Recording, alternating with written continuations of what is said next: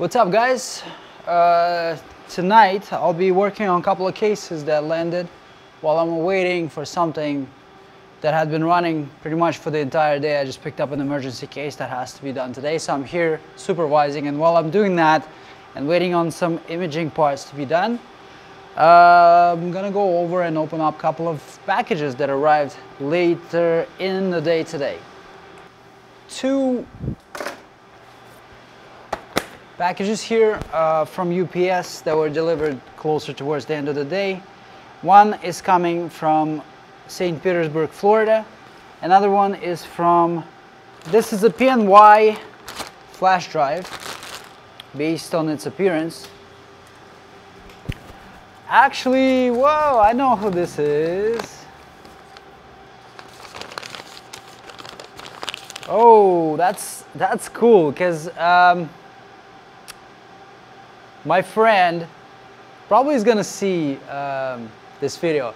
He's referred this uh, job to me and I thank you for it. You know who you are.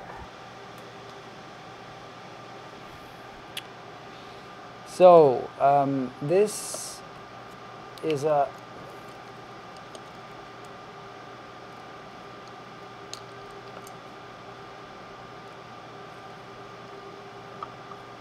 So this is a flash drive made by PNY.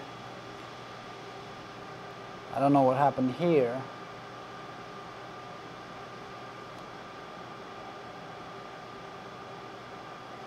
It's, it, I have to admit, it's the first time ever I see a controller sitting like a diamond like this, you know, as opposed to just being lined up uh, with the um, NAND. And there's two NAND chips on this device.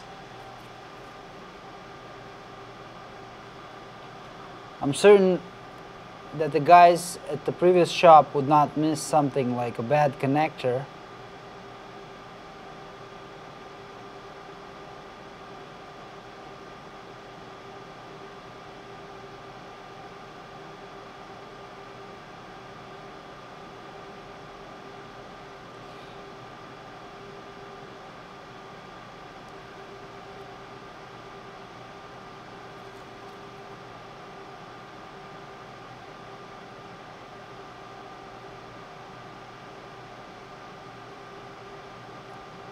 Hmm.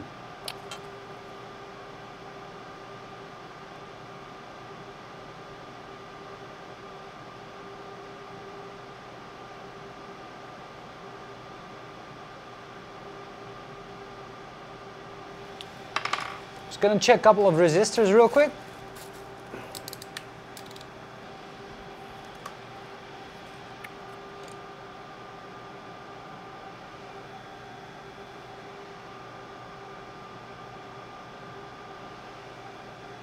Four point eight ohms is good. Oh, they check. they checked it. You can tell. Well, I can tell for sure. You see uh, that probing in the solder? Good job, man. Good job. Yeah, that's zero ohm right there.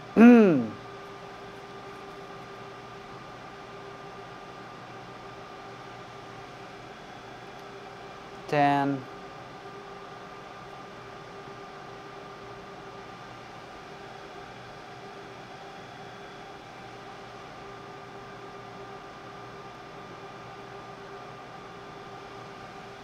That's a zero. See, they have no markings. I don't know. I don't have a, uh, a functional board like this to cross-reference with, and obviously, no such thing as schematics for flash drives like this. So it has to be something um, deadbeat obvious that may have a reading on it, or something that would just stand out, like something crazy. Now 1.2. 1.0. I don't know, connector looks good to me. Okay, I'm sure that uh, the other shop guys know what's up when it comes down to electronics uh, and how to fix them. I'm gonna say probably much, much, much more than what I know about that stuff. But I'm gonna recover it the other way, um, the usual trusted way, uh, known as a chip off recovery. So what do I mean by chip off? Chip off, I don't know who came up with that term. It sounds so lame. I prefer to call it off the chip because it, the data comes up off the chip. This chip off, you know, it's been kind of like a standard for um, for this technique.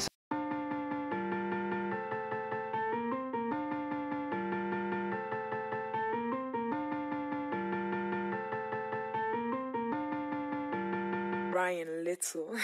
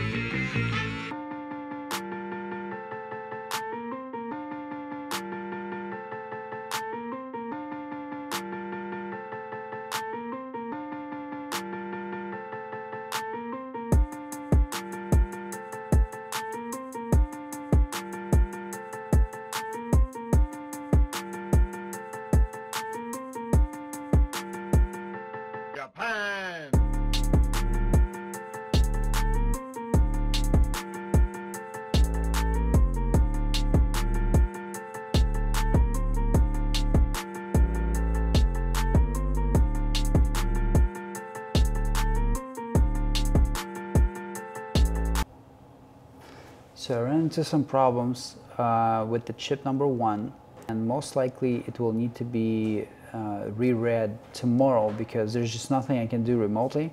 If I attempt to run read retry, it's not gonna really give me any better results. So the only other uh, variables that I have to improve the reading are power settings, which can drastically change how your map appears and whether or not the blocks inside of the uh, physical image are correctable or not. Uh, in this case, uh, I mean, this looks really like one of the worst options that could have been picked. I don't know why I decided that this is going to be good, but that's when it comes down to like how different even two chips can be on the same board. So um, once this is done, I'll explain what I mean. As you can see, like right now, I tested pretty much all of the uh, SanDisk operations for read retry, and none of them actually gave me any proper results. None of them actually gave me a full green map, which is disappointing because that same technique um, that was used on the chip 2 gives us this. Once I saw that it gave me these results, I just copied and pasted the, the, the um, uh, results to uh, reread chip 1. And chip 1 before that actually had like maybe only 20% of bad sectors, not 60 or 70% of like maybe even 80% of bad sectors here the, the way it looks. So um, tomorrow I just have to adjust the settings to where they read the best so that chip 1 ends up looking like chip 2 right now.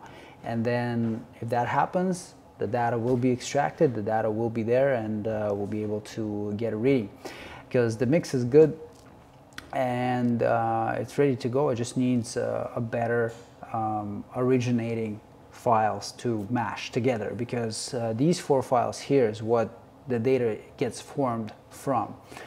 Um, I hope this makes sense and those of you who can follow through if you have any questions I mean absolutely post them uh, in the comments below. I'll be happy to answer. If, if you're watching this video because your one of your uh, devices failed and you need data extracted this would be the type of technique that is used when uh, software completely cannot recognize your device when you're plugging in. And that is probably going to be the only uh, technique that could help uh, get the information back. Um, if you haven't subscribed to this channel, hit that subscribe button. I do daily videos.